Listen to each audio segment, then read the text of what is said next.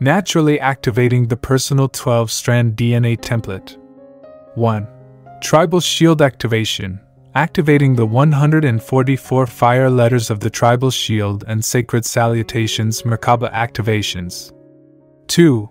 Emerald and Amethyst Awakening Releasing key fire codes between the DNA strand templates to allow for expedited DNA strand braiding. 3.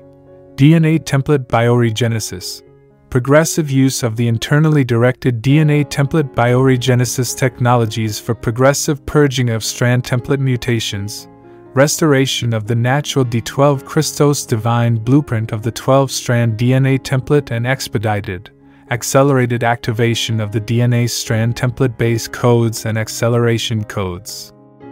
4. Master key codes use of the personal scalar waveguide symbol code programs that correspond directly to the core programming of the personal D12 Maharic shield for further sequential expedition of strand template activation. 5. Melchizedek Cloister Level Transmission of the Kee-Ra-ShA Primal Light and Khundaray Primal Sound Field. Rainbow Ray Current directly into the personal DNA template via direct chakra induction sufficient rainbow ray frequencies to provide a level 3 regent ordination can be transmitted by a Melchizedek Cloister level 5 Elder Consummate, or level 6 Eckar Indigo Child Type 1 Maji Grail Line Angelic Humans, who have the frequencies of the primal creation currents integrated into their DNA template from birth.